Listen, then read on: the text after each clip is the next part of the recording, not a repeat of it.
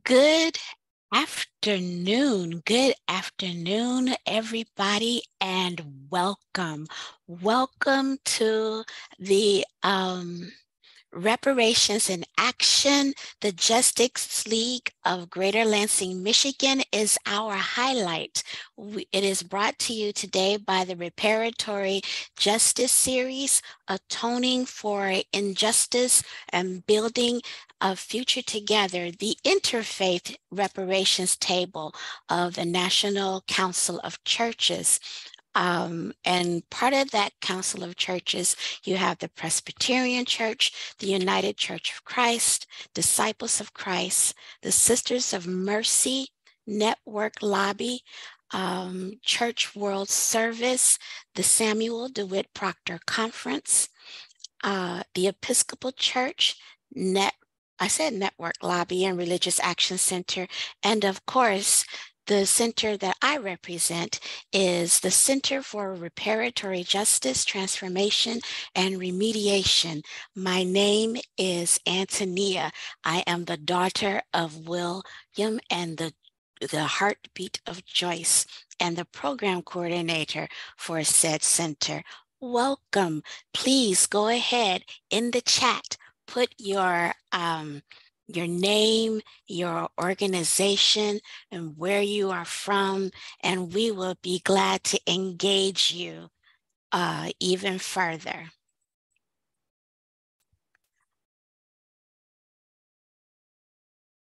Uh, okay. You would think that after all this time of being in this world that we would have this all together. Here we go.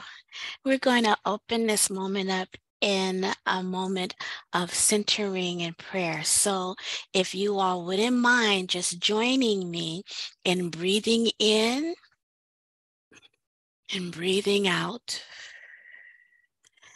breathing in, breathing out. Inhale love. Exhale hate. Inhale peace. Exhale chaos. Inhale joy. Exhale war. war. Inhale love. Exhale love. Creating and sustaining eternal wonder. We are a group of humans who are appreciative of the collective breaths that we just took. We breathe in the love that we have for one another and exhale implicit biases. We breathe for this space in time to come and reason together. Reasoning in the cause for reparations, reparations for a people who have yet received them, reasoning in the plight of a community's commitment to healing and racial justice, reasoning not out of charity, but out of a reckoning that calls for writing course and committing not to repeat that which has caused harm. It is in the name of the one whose joy I have that the world didn't give and most certainly cannot be taken away. Ashe and amen. So, can y'all believe that they asked me to do a theological thought? So here we go. Resipiscence is my favorite word.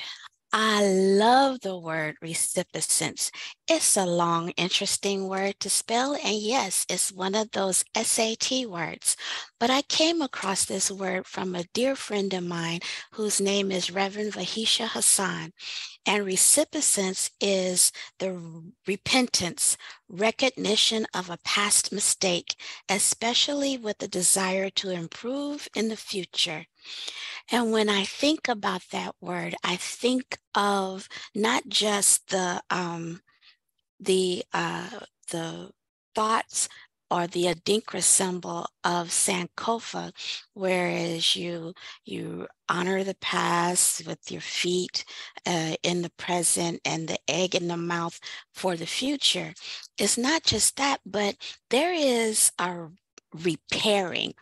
Isaiah 58 and 12 speaks to the repairing of breaches that the ancient ruins will be rebuilt.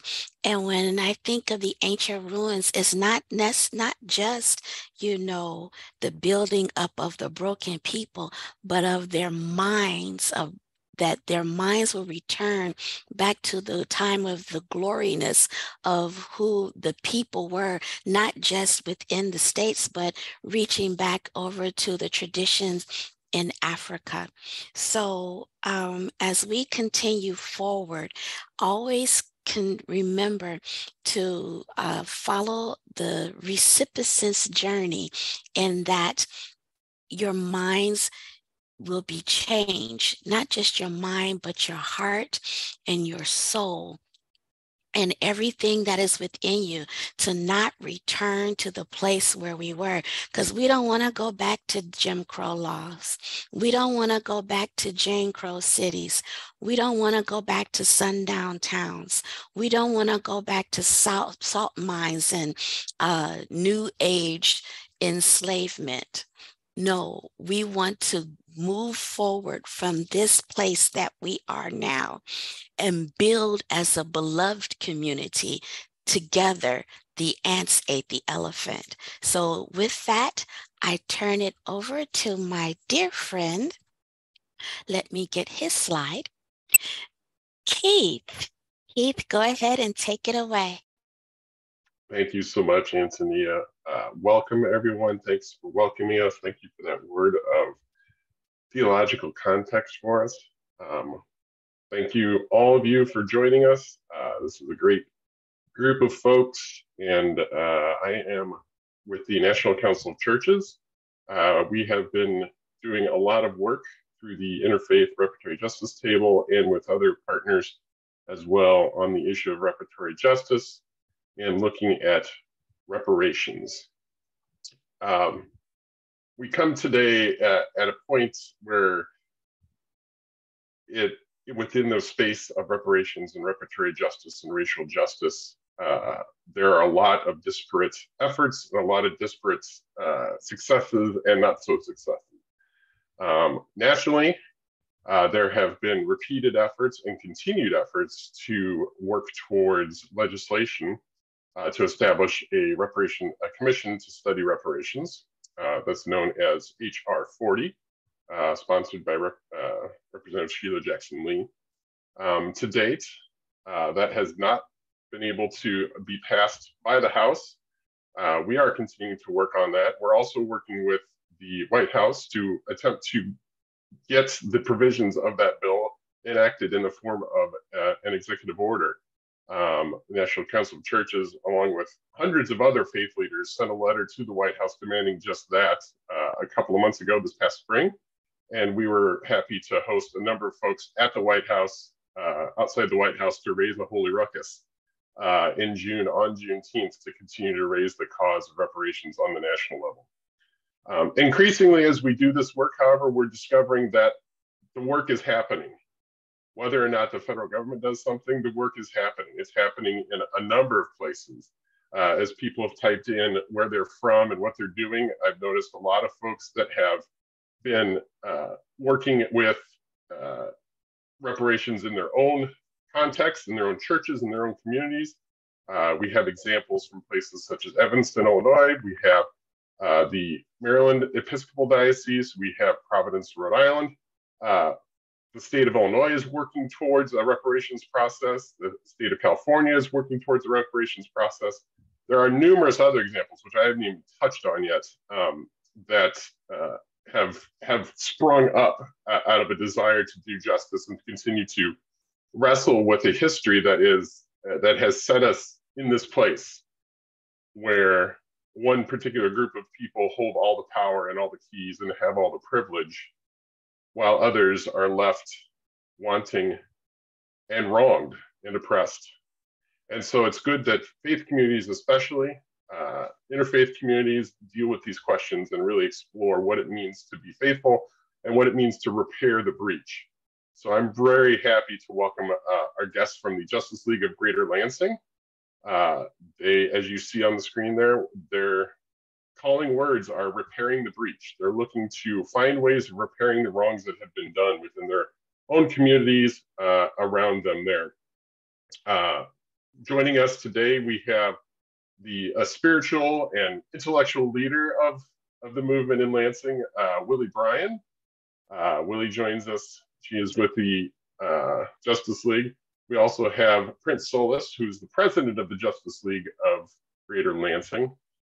And then in addition, we have Reverend Rebecca Anderson, who is the associate pastor at the Presbyterian, Presbyterian Church of Okemos in Michigan as well. So we're looking forward to hearing from the three of you about your experience in Lansing. What what has God worked through you in Lansing, and what uh, what what can we learn from your experience and your tireless efforts and vision there in Lansing? And welcome to you. Thank you.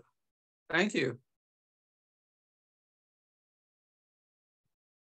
I would Thank invite you. you just go yeah to go ahead and present your story to us so that we can learn a bit about what your context is like, what you all are have done and are doing, and maybe try, we can try to pull some lessons from that. All right. Thank you. Rebecca will start us off. Thank you, Willie. My task with you all today is to share with you some of the theological aspects of why we make a case for reparations as part of our work with the uh, Justice League of Greater Lansing. And when I speak about this, I feel so inclined to draw on Black leaders and Black theologians that have inspired for me many of a far deeper understanding of how deep the wounds of racism and white supremacy go. Because as a white woman, I can understand the pain, I can empathize with it. And the best way I can do that, though, is through the stories and the, the honest words that we hear from people who have experienced it firsthand. So, one of the ways that I really found myself so deeply in understanding, um, or how I cultivated a deeper understanding for just how deep the wounds of racism and white supremacy go from a theological standpoint, was through the work of James Cone. Uh, as a student pursuing my MDiv, I read in systematic theology James Cone's work, God of the Oppressed. And one of the words that he shares in his book that really struck me, he said, Are we not all oppressed, especially those who think that their freedom is found in social, political, and economic uh, domination of others?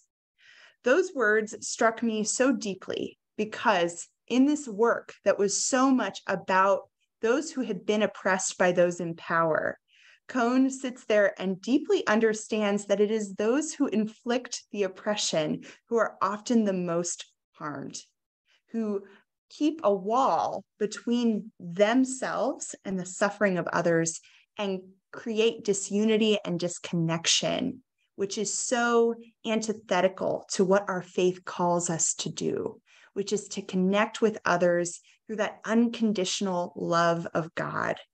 So, it's our understanding through the work of the Justice League of Greater Lansing that racism and white supremacy are wounds that deeply impact those who have been oppressed by the legacy of racism. But beyond that, they also cause these deep wounds that many uh, people who continue to contribute to oppression in ways that they're aware of and in ways that they're not aware of might not realize. And so it's our work to create reconciliation and healing. And the way that we do that, though, is not just by talking about it, it is by taking actual action that works to empower those who have historically been oppressed. And it's our belief, too, that for those who have often been in the places of power that have led to the most oppression and the most pain, it's really our belief that by actually taking steps towards making financial reparations and working in these active and concrete ways towards reconciliation, that we can promote healing for those who are oppressed, yes, but for those who have the deep wounds of causing oppression themselves. So I want to end with some words by a woman named Austin Channing Brown, who I would say is best known for her work "I'm Still Here: Black Dignity in a Word uh, in a World Made for Whiteness." I was especially led to share her words because she too is a person who has deep roots in Michigan, not far from where we are in Lansing. And she said, in uh, this quote that I'm about to share with you, she speaks about a great misconception in the work of reconciliation. She says, a great many people believe that reconciliation boils down to dialogue, conference on race, a lecture, a moving sermon about the diversity we'll see in heaven. But dialogue is productive toward reconciliation only when it leads to action, when it inverts power and pursues justice for those who are most marginalized. Unfortunately, most reconciliation conversations spend their time teaching white people about racism. In too many churches and organizations, listening to the hurt and pain of people of color is the end of the road rather than the beginning. And so I share that with you because we are an organization that deeply cares about the work of reconciliation about the work of creating transformation that takes seriously what Antonia shared about repairing the breach. But we also see listening to people of color, listening to those who have been oppressed, not as the end of the road, but as the beginning, and as a call to move beyond dialogue, but to action.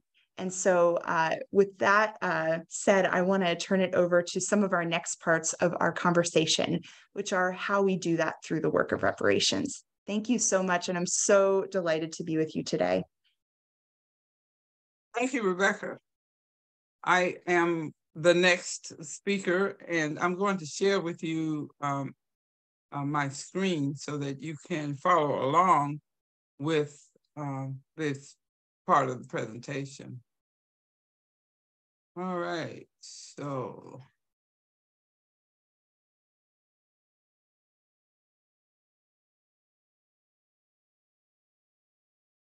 All right, let me see if I got the right one here. Okay. I'm going to go ahead and um, all right, so we are the Justice League of Greater Lansing, Michigan. And um, I'd like to start by just giving you an overview of uh, what we'll talk about today. And um, the we, will touch on and speak about the historical background on reparations, because it's always good to start at that foundation.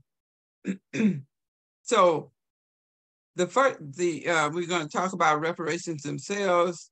Uh, are, are in fact they needed? Are they needed for African Americans? I mean, we always hear that argument uh, that do we need them? We're going to talk about the racial wealth gap and how that impacts our need for reparations. We also want to present solutions, not just talk about it. And we will show you the Justice League model. So, reparations for African Americans. The main questions that we want to answer, and we always have to address these uh, as long as 400 years we've been talking about it, but we still have to address the need uh, to answer these questions. Like, principally, what are reparations? And uh, I submit that we will define it as the word comes from repair. So then reparations means to make amends for a historical wrong that has been done. Um, it could be done by countries, it certainly could be done by institutions, but uh, we want to address this wrong for African Americans in the US. So then it ultimately, why do African Americans need reparations? And so that's the, the bulk of our talk today uh, that we present is that for African Americans, why is why is there a problem with wealth accumulation? And we want to talk about the impediments why African Americans are 400 years later talking about the need for um, wealth accumulation and how has that impacted our community. So we're going to talk about a few of the impediments, and it's just a few. You know, there's there's so uh, many more, but we're going to touch on the ones that um, most egregious in our evaluation. Slavery, of course, we always start with um, the Homestead Act. Let's talk about those a minute. Uh, the GI Bill, sharecropping, Jim Crow, redlining, and the destruction of Black communities. And, and I um, want to make sure we're mentioning that this is not an exhaustive list. We could go on. Um, slavery, America's original sin. Now, when, as we go through these, I want you to think about impediments, missed opportunities while we're in the state, at the state we're in. Uh, chattel slavery in the US has been deemed one of the most brutal forms of slavery in world history. Uh, we always get a response sometimes like, you know, you know, um, America's not the only place that had slavery. So we like to emphasize that, that the brutality is unparalleled and that the US wealth, remembering that the US is the wealthiest country in the world, and that this wealth that we enjoy, and certainly the largest society enjoys, was built on slavery. After 246 years of enslavement, there was emancipation. Um, and again, let's take a missed opportunity. In 1865, President Lincoln tried. He tried to do compensation, allocating 400,000 acres along the eastern coast of the US to formerly enslaved individuals. The plan was to have each individual, each uh, formerly enslaved person receive 40 acres. And um, if that had stayed true imagine the amount of land and how that could have been um, part of our heritage. Uh, however, as we all know, of course, that President Lincoln was assassinated in April of 1865. And so the um, that fall, the new president, Andrew Johnson, overturned the order and removed all of the folk from the land and gave the land back to the Confederate uh, contingent that brought war on the country. This, of course, we all know is a derivation of 40 acres and a mule. It was also uh, thought that we would, in addition to the 40 acres, that the army had lots of mules and maybe they could, uh, the war was ending now and maybe each person could also get a mule.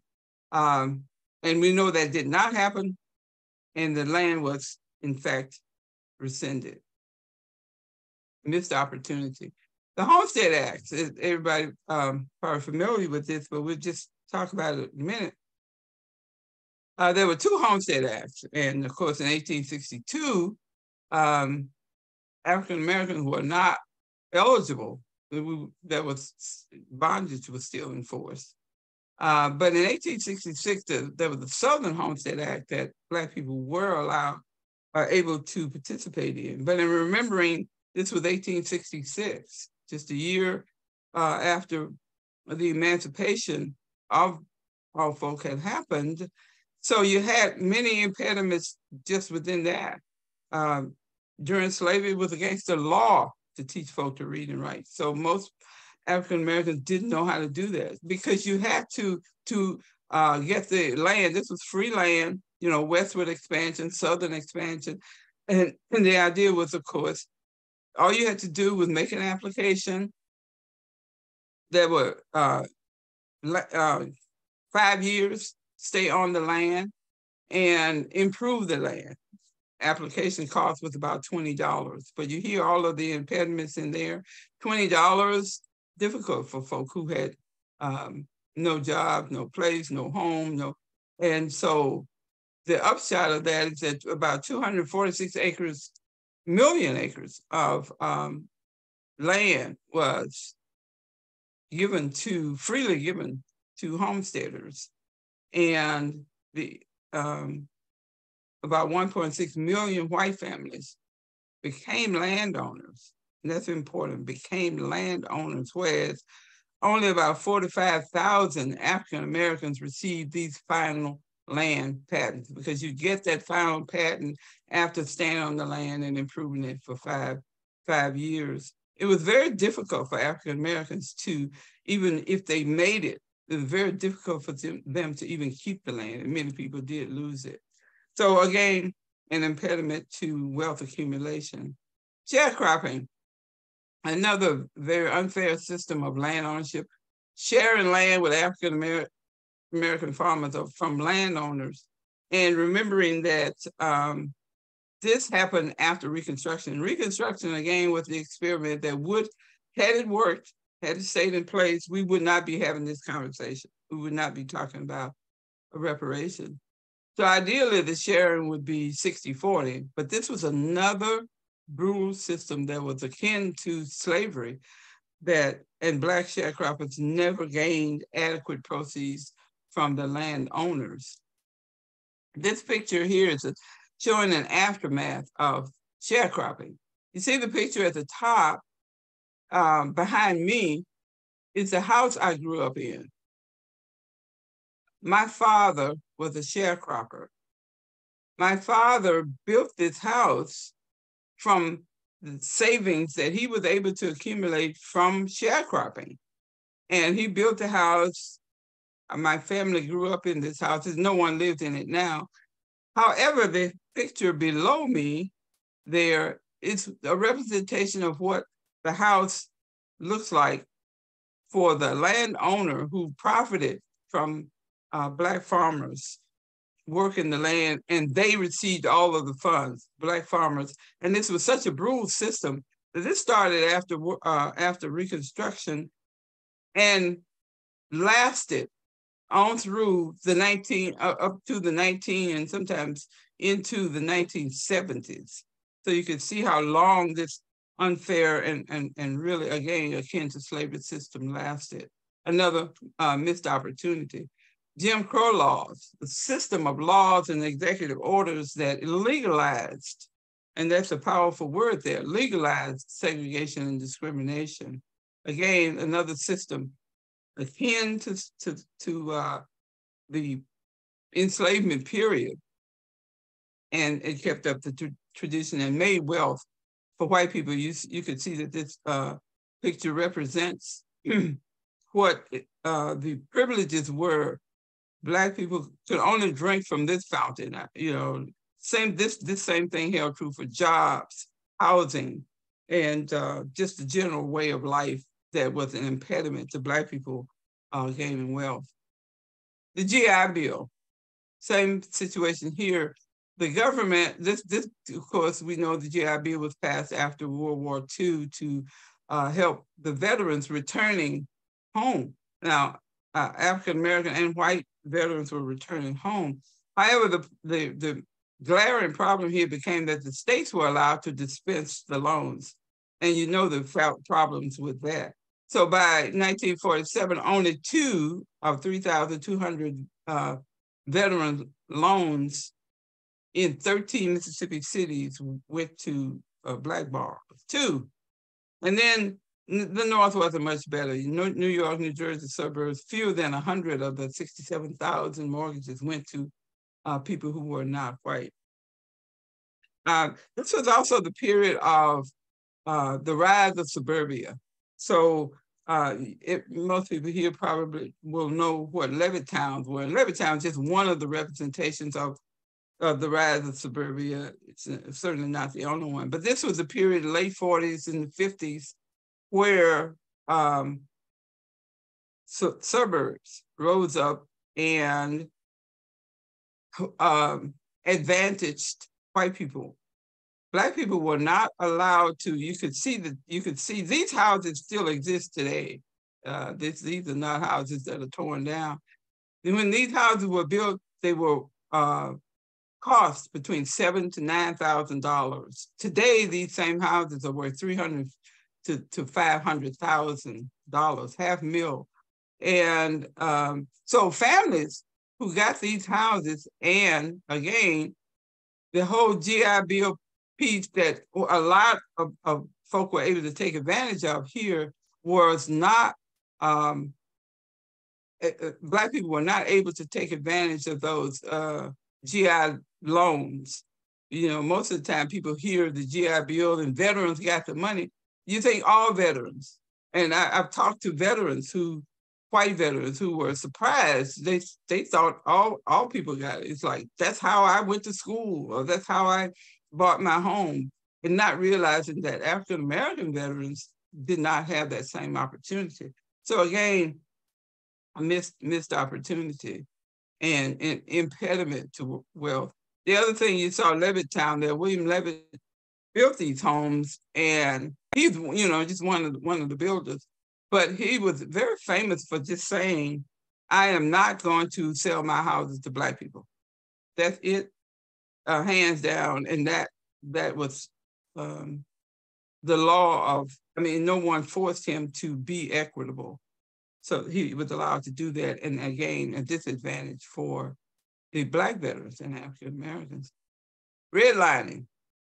We all know this system, and, and it was a, this was enforced by the government. These maps were were, were generated in the 30s, 1935 uh, and, and on. And the idea was that um, the government mandated to mortgage lenders and to real estate developers to not sell randomly to Black people.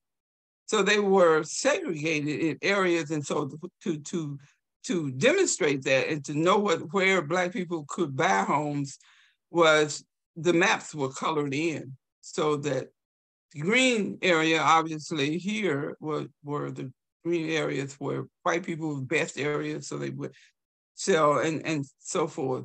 Blue was still desirable, yellow declining, but red was deemed hazardous and only black people only black people were allowed to purchase um, homes in these areas. In fact, the real estate developers and the mortgage lenders just would not give people loans in other areas. Now, one of the things, this is a map of Lansing, where we are, where we are, and East Lansing, which is the, the community that houses Michigan State University.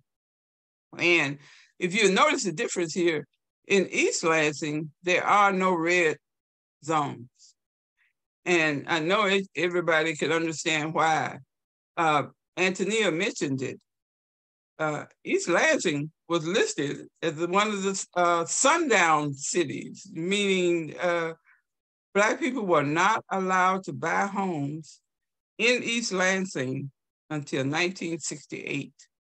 And that's recent history for most, for many of us.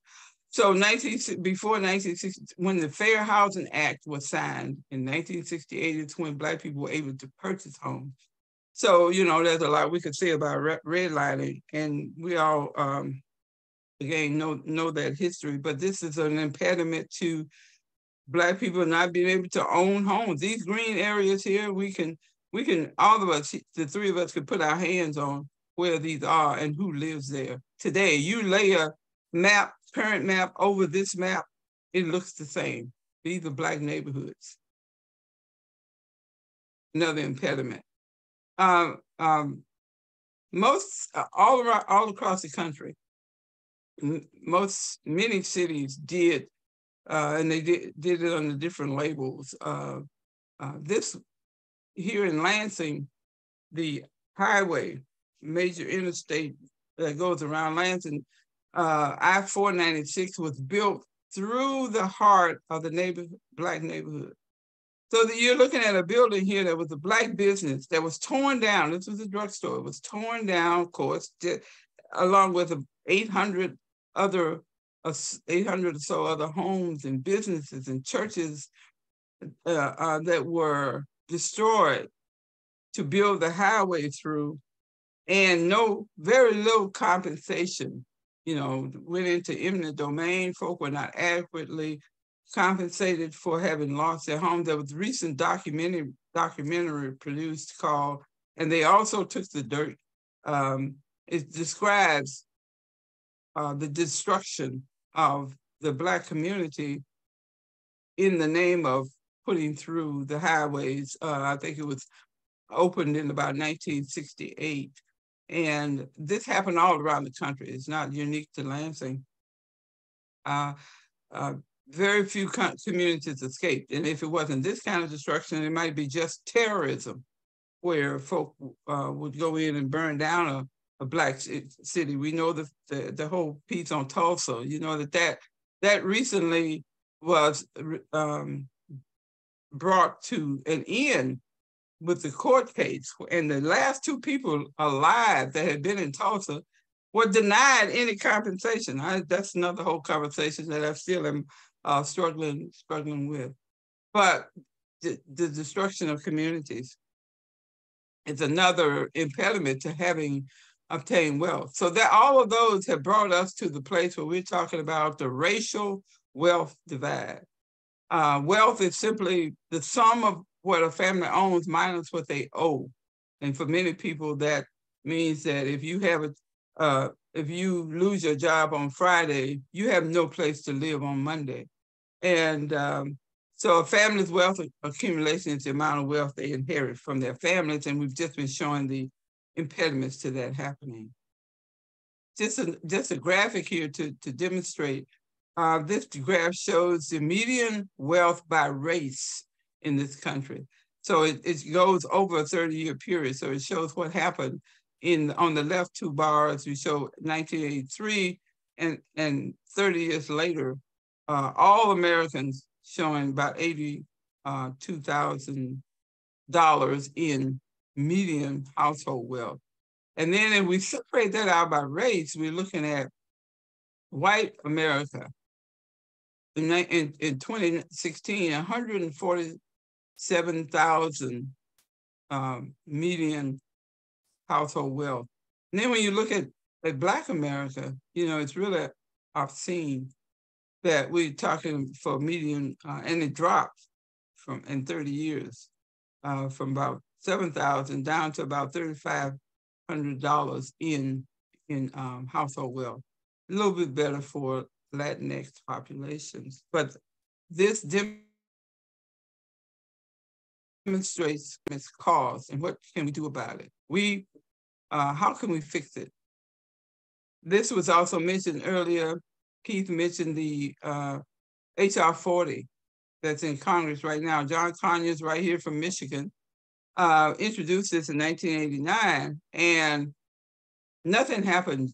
It never left committee after John's death, Sheila Jackson Lee took that up and uh, had got and got it introduced, brought to the floor of the House. But it's still there, still on the floor of the House. It hasn't been passed, hasn't gone to, the Senate. And so the Justice League was developed out of this knowledge, uh, frustration, and understanding of how can we fix it what can we do?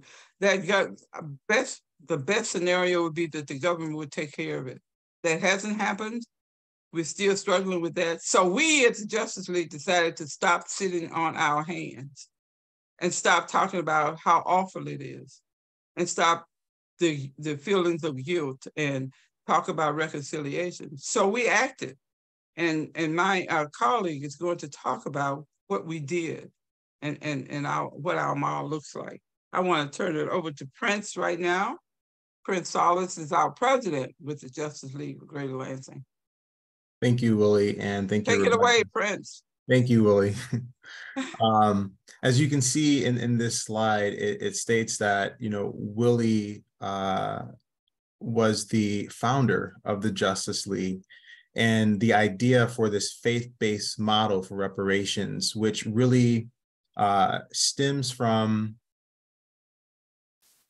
the congregation uh, here at Lansing First Pres and many other, you know, congregations in the community that would ask, you know, what can we do about the racial injustices and social injustices that are faced by African Americans. And, you know, this was the conversation taking place inside the church through the murder of George Floyd and Breonna Taylor and Trayvon Martin. And so being the bold leader that she is, Willie stepped forward and said, you know, reparations. And we looked at the under undercurrent of it all. And so um, nearly two years later, the Justice League has gained a lot of momentum. It's a very personal project for me because I grew up in the city of Lansing. I'm 33 years old. I've lived here for 32 years. And so uh, the people in this community um, are very personal to me. And so um, I think the work that we're doing is gaining a lot of traction. And I'll talk to you more about that as we go along in the slide. So, what is the vision of the Justice League? The Justice League of Greater Lansing, Michigan has cemented our commitment to healing and becoming the beloved community by making the connection between faith and racial justice in the form of reparations. In the Greater Lansing area, reparations will be committed mainly from predominantly white houses of worship as part of their efforts to repair the breach caused by centuries of slavery, inequality of wealth accumulation, and the failure to live into God's plan of equality for all of humanity. So it's really um, important to remember that there are uh, a handful of models uh, for reparations that are starting to uh, uh, gain more momentum at the national level. And Keith pointed this out earlier. But What makes the Justice League unique is that it is uh, on the foundation of a faith-based model. So we seek to develop a network, again, of predominantly white houses of worship from the greater Lansing area to create a reparations endowment fund to make amends for the historic wrongs perpetrated on the African American community. And later in the slide, we'll show you uh, what progress we've made um, in that area and, and, and collaboration. So there's one scripture that truly resonates with uh, the work that we've been doing over the past couple of years. And uh, that's Isaiah 58 12. Your ancient ruins shall be rebuilt. You shall raise up the foundations of many generations. You shall be called the repair of the breach, the restorer of streets to live in. So, really living into uh, the notion of repairing the breach, um, spiritually as well as through through the uh, wealth inequities.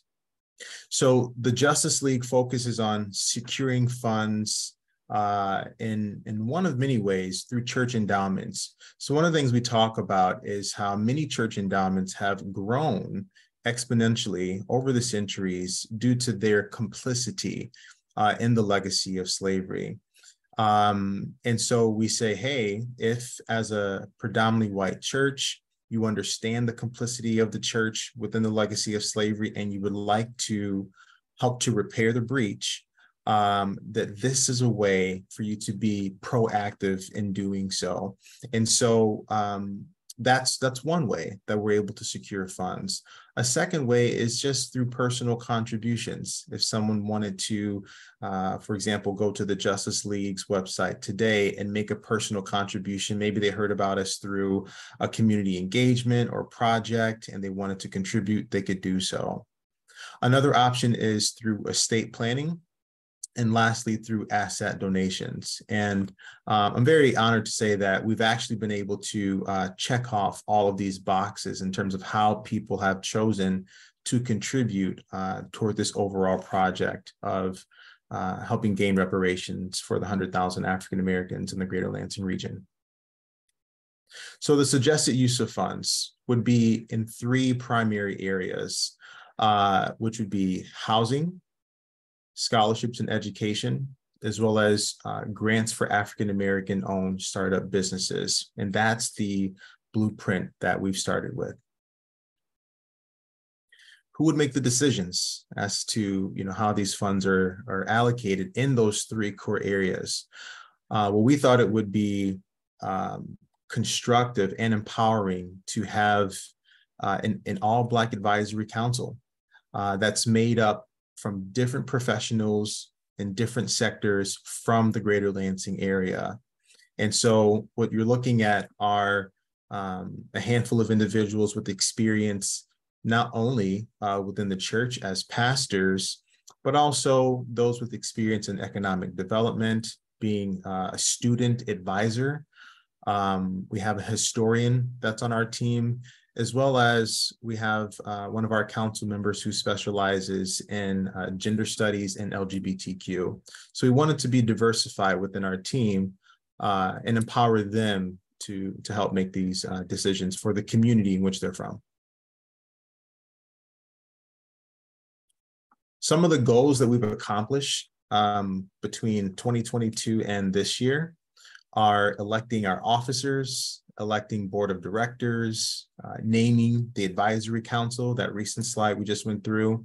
We also opened up a bank account um, with a Black owned bank called Liberty Bank that's based uh, in Detroit. And we also were able to um, use the Justice League's public relations team to launch our new website and design our logo. Our big accomplishment, of course, is becoming approved. Um, as a federal nonprofit by the IRS. So we are officially a 501c3. Okay. So what you're looking at here is our leadership team. Um, so I currently serve as uh, president. You have Willie Bryan, who is the founder, as well as the vice president. We have Ben Rumba, who is the acting uh, treasurer, and Sally Campbell, who is serving as our secretary. Here are uh, a few of our uh, board of directors. Uh, uh Miss Peggy Von Payne, uh, Reverend Stanley Jenkins, who is the pastor at Lansing First Presbyterian Church, Dr. Nikia Parker, who's a historian at Michigan State University, and Reverend Sean Holland, who is both in activism as well as a pastor here in the Greater Lansing region. All right, so some of the things that I want to hone in on is that the Justice League keeps its goal uh, uh, focus on the local 100,000 African Americans in the greater Lansing area.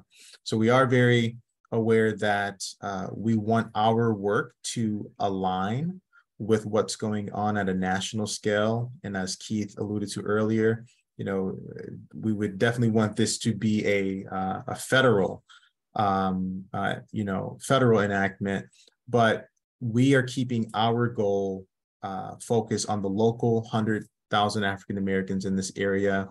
We make sure that we emphasize that it's uh, repair and, and not an investment with expectation for personal return. It's not charity. Um, you know, and that's really important that we stress that we live in a capitalistic society. And so for every dollar that one gives, they want a little bit of interest on that. But this is, uh, again, not for um, uh, charity and it's not an investment with an expectation for personal return. So for this year, we set a goal of raising a million dollars uh, by the end of 2023. And recently, our advisory council um, has made the decisions to um, roll out a certain percentage of what we currently have um, in, in the endowment to disperse towards education and scholarship. So that leg of reparations in the greater Lansing region. So we are not at a million dollars yet, but we are well on our way to that goal. What I'm going to show you over the next couple of slides is just some of the impact we've been having at the local level. Um, the Presbyterian Church USA uh, as of last September, um, moved to introduce what's called the Litany of Repentance. And the Litany of Repentance is an apology um, that's offered by white identified Christians. And it goes into very vivid detail um, apologizing for the legacy of slavery. That was issued by PCUSA. The Justice League felt that, hey, let's not let this uh, powerful, um, powerful document just sit, but let's put it to work. And so that's what we did. Uh, we worked with uh, the pastor and members of the congregation at Lansing First Pres and other surrounding uh, congregations in the area to uh, take the apology into a predominantly uh, Black community at a predominantly Black church, uh, and the apology was offered. This is a picture here. Uh, we've officially done the apology three times. This was the second time uh, where we brought it to the uh, African American community, and this was January 28th of, of this year. Our most recent apology was at the um, Michigan State Capitol. Um, and this was um, held on Juneteenth of, of this year. And we thought that it, it, it paired um, significantly. And we had uh, an authentic, organic response. Again, a lot of the community members who learned about the momentum of the Justice League and what our vision and mission is showed up. And a lot of the churches as, as well as spiritual centers uh, showed up to um, participate. This is a picture of myself at the event. Um, we've done, we're doing our best to make sure that, you know, uh, both city and state officials are abreast of the work that we're doing. And so we asked uh, the Michigan State Senator Sarah Anthony to uh, participate um, in this apology and just offering her insight and her thoughts about uh, the work of the Justice League and the work of the, the church. And she's been of great support. In fact, she was at our second uh, apology uh, that we held earlier this year. Here is one of our advisory council members and also um, Reverend of a church uh, called Kingdom Ministries, which is on the south side of Lansing. This is Reverend Terrence King and he also um, participated in the apology uh, on Juneteenth. This is Reverend Kit Carlson, who um, she leads All Saints Episcopal Church here in Lansing. And um, All Saints Episcopal Church has been of tremendous support for members of their congregation being a part of the Justice League team, but also recently, um, All Saints Episcopal made the uh, very brave stance to uh, make a contribution to the Justice League after selling their rectory. Um, and we are going to be doing a community um, community presentation at All Saints to receive though receive that contribution to put it into the reparations endowment. So, uh, just one of the many uh, pastors and congregations that are remaining involved. And uh, this is my mom. So she's the reason why I'm here. And she's very, um, she's a strong force in my life. She keeps the fire. And what's been beautiful for me is as much work and time as we've dedicated to having community engagement. Uh, my mother in her uh, you know, elder stages of life, I can keep her informed and keep her engaged, and I think she's enjoying it. So that makes me happy. Here is a uh, broader shot of the apology that took place on uh, June 19th. Again, we had um, a very solid turnout. We had both the church and the unchurch show up and show out. We had um, an intergenerational um, aspect to this. As president of the Justice League, I know that it's really important that we make the dive into the youth in order for this to be long withstanding. I think we've captured the ears and the hearts of our elder population within the church, but I think also breathing some life into um, our younger population and getting them involved uh, is going to be really helpful long term. Okay. And then lastly, this is just a list of uh, some of the churches that have been involved with making monetary contributions toward the Justice League in the past. um, year and a half. And uh, so it, their support is going long ways. It, it gains more momentum. Uh, and of course, this doesn't um, constitute for all the individual uh, uh, contributions as well. And then lastly, I just want to invite you to check out the Justice League's website. It's www.justiceleagueglm.org. And I think Antonia also put that in the uh, chat room. And then lastly, if you'd like to contact us, feel free to do so uh, at justiceleagueglm at gmail.com. And thank you.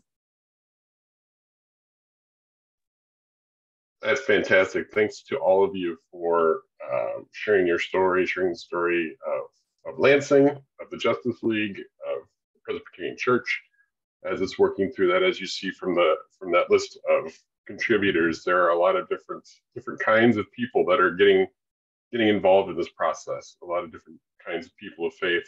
Um, so we're grateful for your work that you've uh, undertaken to reach out to those other groups um, and in doing this very very important work.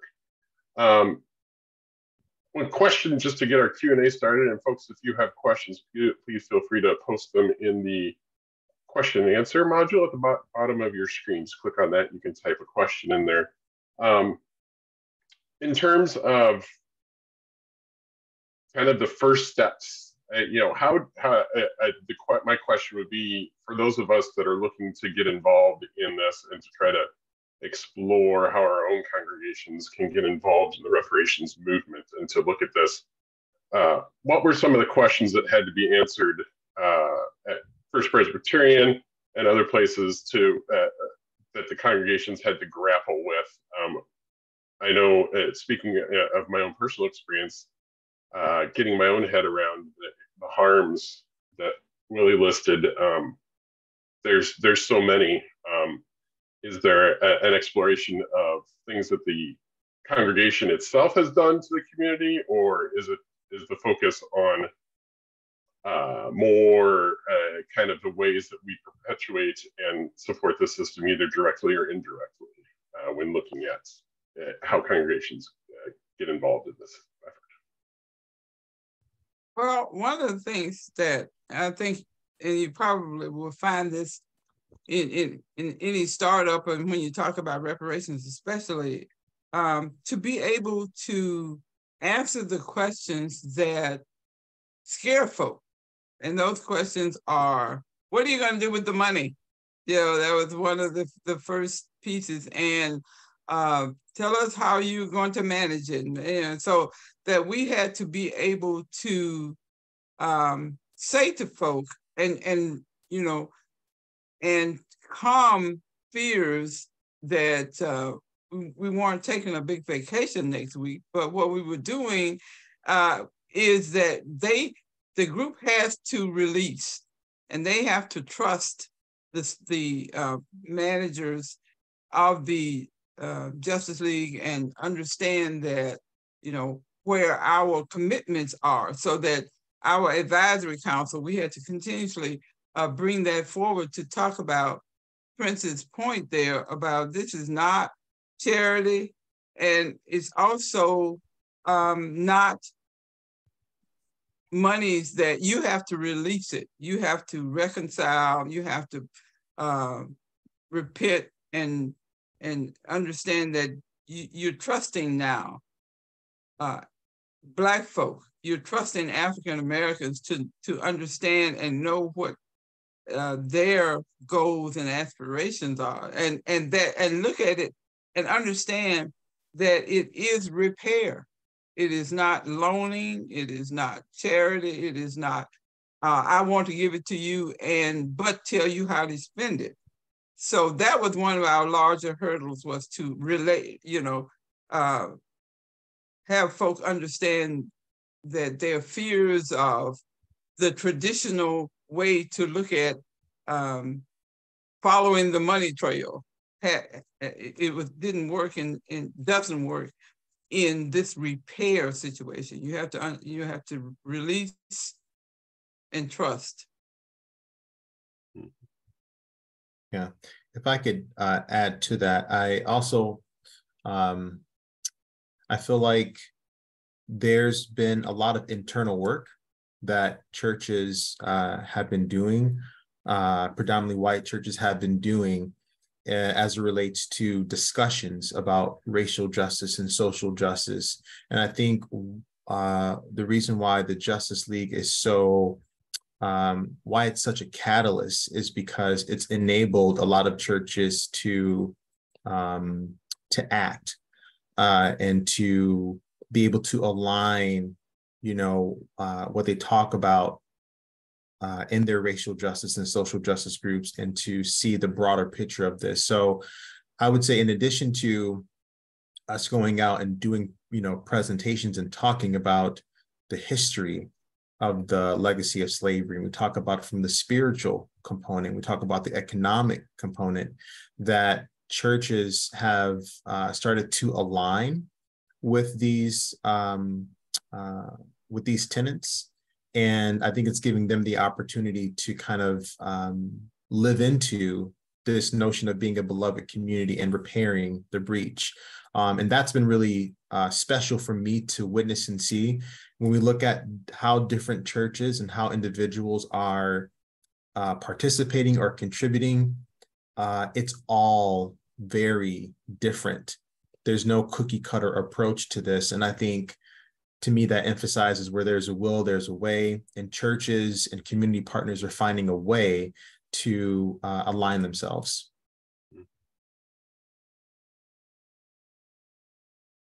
Thanks for that. I appreciate that uh, that answer. a couple other questions that have popped up.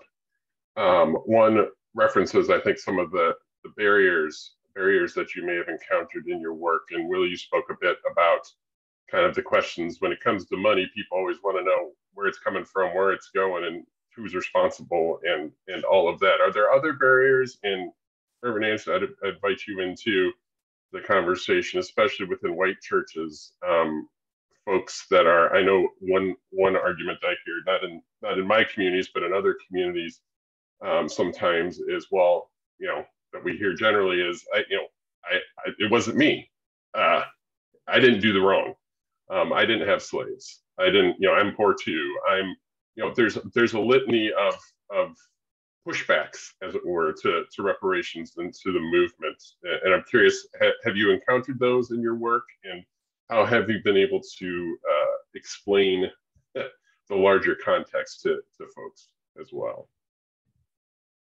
Thank you for that question. I I will say that you know there has been a lot of talk of reparations in the national news, particularly in California, as they grapple with what offering reparations to Black folks in the state of California might look like. And I would say, generally speaking, just about any sort of narrative that you hear around reparations in the broader society, you will hear in the church. Only oftentimes, what hearing it in the church means is that there is this a, kind of an added component of the religious aspect, which can sometimes heat up any intensity behind the argument because when people's faith is involved, there's something very emotional there. And so I would say, as you had mentioned, a lot of what happens is, um, or a lot of what I've heard is, you know, I didn't do it. I wasn't responsible for it. I saw a question in the Q and A, even of, uh, you know, in my congregation, in my context, we have people who are from other countries, and people say, "Well, I wasn't even. My heritage isn't in the United States. My my people did not own slaves." And the truth of the matter is that the white church, we have deeply rooted systems of white supremacy inherent in how we function. We continue to benefit from aspects of racism and white supremacy, both in the financial kind of leg up it's given us and in just the fact that you know, I love that Prince mentioned that the Justice League works with a Black owned bank. You know, if someone sees, uh, if a white church attempts to get financial help, there will be given that uh, they are much more likely to get the help that they need than someone who's from a Black congregation. it, it I will say too that redlining continues to have a legacy in our community. Um, East Lansing was created as a result of redlining, but beyond that, my church, um, which is just it's kind of um, the the congregation that I serve is a lot of professors that teach in East Lansing at Michigan State, and a lot of our community was created out as just another byproduct of that redlining. So these are just I don't I in my head I said these are small things. They're not small things. These are quite big. They're maybe things that are not visible to us when we walk into a community. It was something coming in as a relatively new pastor and as a relatively new uh, person to this area and this community that I had to learn. It was not obvious to me as I walked into the community. But it's very clear that the legacy of white supremacy continues to have bearing on the way that our churches function. And I think that a big part of what I try to share with people when these concerns come up is that we do have a role to play, even if we did not cause the harm. We continue to benefit from historic harms. But also, if no one takes steps towards repairing the breach, the pain and the hurt will continue to snowball. The choices that we make have the ability to heal generations that are coming up and to bring some healing to people who have been historically harmed. Beyond that, I will say there was reference to the apology for the sin of slavery and its aftermath, which was something that Willie Bryan worked on within uh, General Assembly at the PCUSA's level. There were many conversations. I, I led a discussion on the language of the apology, which was very meaningful. And it was very hard for some people for some of the same reasons that reparations are hard for people. You know, why am I apologizing for something that I didn't do? Why am I saying sorry if I didn't even grow up in the United States? Um, but, you know, the language of that apology is extremely powerful because it talks about the pain in the same way that as I opened, I said the biggest way that I can really understand the depth of hurt that has taken place because of racism is to listen to stories of people who've been impacted. That the language of the apology bears the footprints and the imprints of the pain that it has caused and it continues to cause. So we read it aloud together. And I will say, I don't think there was a dry eye in the house. And when you are forced to look into the eyes of someone who is suffering, it is much harder to sit here and say that it didn't happen or that you have no responsibility to do something about that harm. And so I really I feel that this is very common and popular right now in our world more broadly. And it's very, I think, meaningful and important in churches to do as well. But one of the most impactful things that we can do is to find people's stories and listen. We have relied heavily, I think, on like we've wanted Black people and Black folks to come forward and to tell us their stories. I think it's the job of us as white churches and white people to seek out those stories too, because Black folks have had to use a lot of energy to um, to be heard, and so I think we have to want want to be uh, we have to um, demonstrate that we want to hear, and part of how we can do that is to be the initiators of that action. So I hope I feel I've gone on for a long time, but I hope that answers your question pretty comprehensively. Yes, thanks for that. Um, Willie or Prince, did you want to say anything additionally? If not, we do have a couple other questions and we'll, we're going to need to wrap down. We are getting uh, on in time here, but I'll try and highlight or combine a couple of these questions uh, together. Um, there's some questions about uh, format, process, those types of things, um, the ways in which uh, churches can go about having some of these conversations and how they affect the community at large, even beyond the, the community of faith. Um, are you seeing uh, are you seeing some effects within the broader community outside of even just faith communities? Are you seeing uh, you know you spoke of being at the at the state capitol. Um, is there attention being paid within the, the state legislative branch? Uh, are there those that are uh, taking action alongside the faith community, with the faith community, with with the uh, inspiration of the faith community, perhaps, and uh, within within the Lansing area? Yeah, I'll I'll I'll comment on that, and then Willie, if you want to kind of drive it home. Um, in this work, I like I always tell myself, I don't know if I ever told Willie this, but I say if Willie takes the sky, I'll take the ground. Right. And I, I think from that, from a, a number of, of, of, vantage points, number one, uh, you know, Willie and I, we we we collaborate very well. In fact, when we were in Chicago, I think we were named like a good one-two like uh combo or something like that. And that's because we are able to um, leverage our networks. And so I, um, like I said, I, I grew up in this city. And so this project is very personable and very meaningful to me. And so I've leveraged my relationship with community organizations from nonprofits that I've worked with since I was 16, 17 years of age. From a previous financial institution that I worked with, I reached out to their African American employee resource group to say, hey, this is the work that we're doing. I understand what your goal is. Would you give us the opportunity to simply disseminate some information? And so um, I make sure that I keep not just community partners and organizations and nonprofits, but also my peers, you know, uh, young Black professionals, young uh, professionals in general, abreast of the work that we're doing, uh, and encourage people to you know invite us into their space if they want to learn more and so it kind of catches a natural organic momentum uh, in our presentations again we inform we educate while also talking about a sensitive subject that many uh, people may try to steer away from.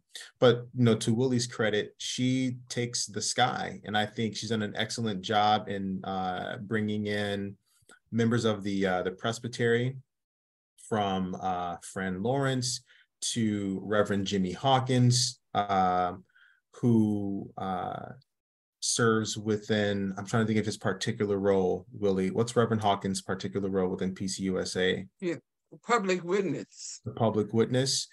Uh, also doing a great job in bringing in um, Reverend Jermaine Alam Rasalam, who is now heading the Center for uh, Repair for Presbyterian Church USA. So we have invited and we've created relationships to try and uh, get this information going in both directions, both the sky and the ground and all areas in between. Willie? Oh, I think you said it well. I just um, one one of the things I'll mention in terms of the encapsulating the whole piece is that you know we didn't just start um, one you know two years ago even we didn't just start talking about this subject and you know as we are living now where it is becoming more and more uh, popular to to say uh, let's not talk about that phase of history. You know, let's let's uh, move on and not uh, task anyone with feeling guilty or not. You know, and I, I I want to say that we didn't start. I didn't start uh, two years ago. You know, it's been a long uh, um, piece of engagement where bringing folk, making folk aware of the history that has brought us to this inequitable state.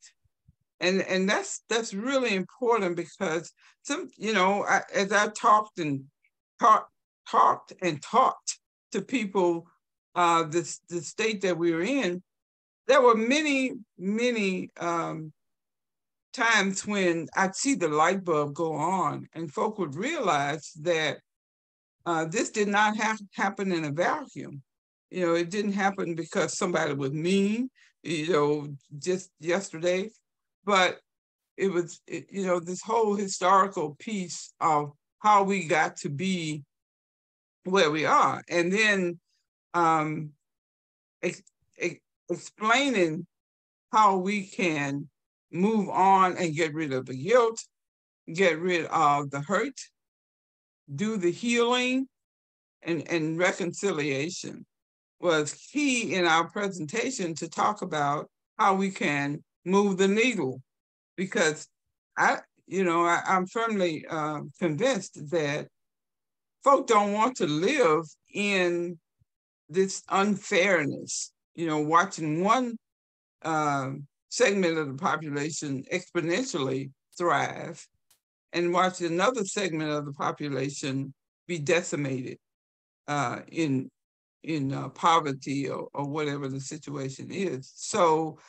um, the guilt many times, you know, folk talking about, well, I my family wasn't involved, or if my family was, you know, and many people are are doing that research to find out how their families were involved and say, yes, it turns out my family owned slaves, for instance. But uh, this is what I can do.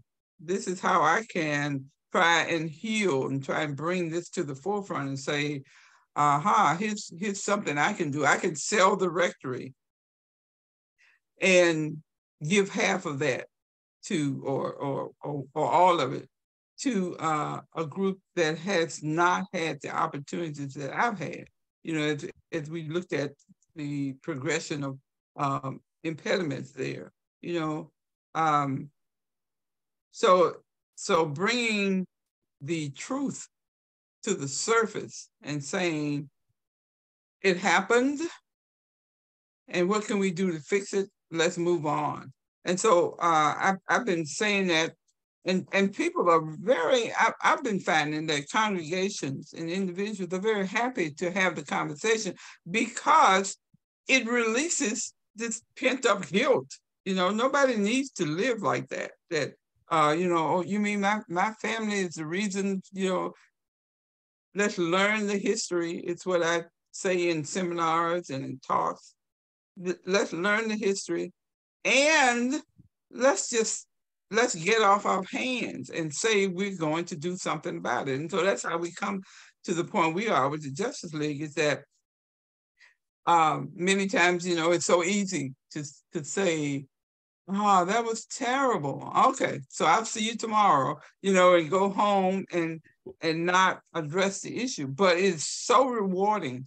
We have people come and tell us how rewarding it is, or people make commitments, that, you know, to to to donate X amount monthly for the rest of their lives, you know, to say, this is a way that I can do something about it. Because that's been the thought is that, yeah, this was awful, but there's nothing we can do about it. So, so I think that just coming to grips with the fact that we can um, hold each other dear, we can be one people as God intended, and we can right the wrongs. You know, we certainly want to be on that path. Uh, we won't. We, we're not. We're not saying we'll write it overnight, but we want to be on the path that repairs the breach.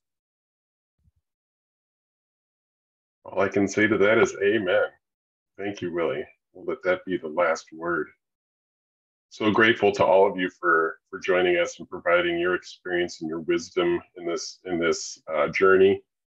Uh, it's a journey that we're all taking together. We're all learning from each other, and we need to continue to learn from each other. This is this is not, and you've touched on this. This is not a a time bound exercise. This is not writing a check and being done with it. This is not limited to a particular time in history. Um, this is not just one particular wrong of slavery, even though that set the stage for a lot of other wrongs. These are wrongs that are continuing to happen each and every day and so this requires a lot of fortitude, a lot of listening, a lot of partnering uh, and walking with each other, and a lot of love too.